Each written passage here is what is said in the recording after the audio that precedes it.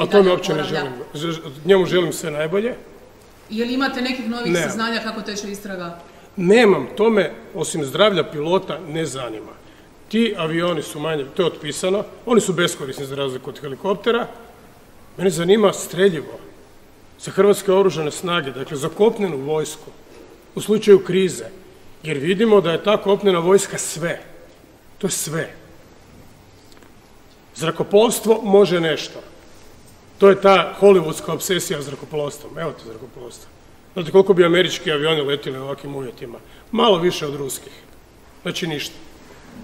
Sve su na kraju ljudi koji su spremni poginut i koji su pristojno opremljeni. I ta oprema, taj oklop, to streljivo, to je nešto što moraš biti sposoban reproducirati. To mogu kinezi koji proizvode sve, u velikoj mjeri Rusi, Amerikanci bi mogli kad ne bi sve bio profit. Kad ne bi svaki avion koštao 150 milijuna dolara. Je li remont u Ukrajini bio loš ili dobar? Čega remont? Migova, jedan od njih je pao. Znate koliko je američkih aviona danas palo? Dobro, Jedan. samo vas pitam, je li vaša vlada ih je tad slala na remont, je li bio dobar ili loš izbor? Do, da, apsolutno, pa produžen je, pro- dakle, produljena je, zašto me to pitate? Mislim, tako da me pitate koji je danas datum, 20. U prosinac. istrazi, zašto vas ne Pa zato što ti avioni lete. Dobro. Dakle, Je činjenica je- Samo malo, činjenica, pa nismo na sudu. Dakle, činjenica je da dakle, ti avioni lete već godinama. Padaju novi avioni. Zašto je ovaj avion pao? Možda zato što je dotrajao.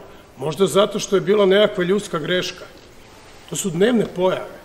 Vi me pitate kako, mislim, kako to do... Možda je greška bila u tvornici u Njižnom Novogorodu 1974.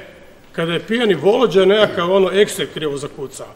I to se od tada još vuče kao kronična nezarazna bolest tog aviona. Dakle, kakve veze ima remont sa tim? Pa remont je Htjela sam vas omogućio da avioni postoje lete. saznanja da je MIG-u remontiran i motor u Rumunskoj nakon remonta u Ukrajini. Pa vas pitam, ovo sam vas pitala Nema prvo, ovo drugo. Jer Ne. ne. znam, kao vrhovni zapovjednik dobijete valjda neke izvješće. Evo vidite kako dobijem izvješće. Kako su, kao što sam dobio za ove helikoptere.